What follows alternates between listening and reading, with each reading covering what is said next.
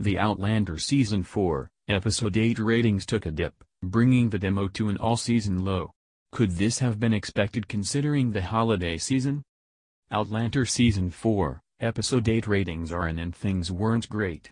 Both the total audience and demo ratings took a drip, with the demo dropping to an all-time low.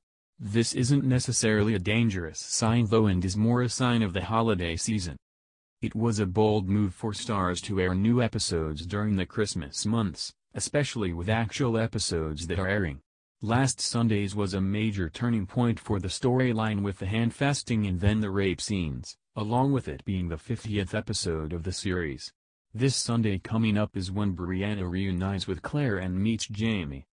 I expected Starz to take two weeks off, but clearly, the subscription viewers are good otherwise Starz wouldn't have risked things.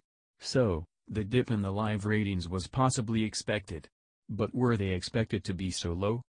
The total audience figures dipped back below the million, with an 18.71% drop, according to TV series finale.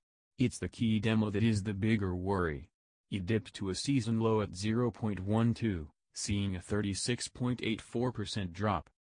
We'll have to see if it was the episode or the timing this week.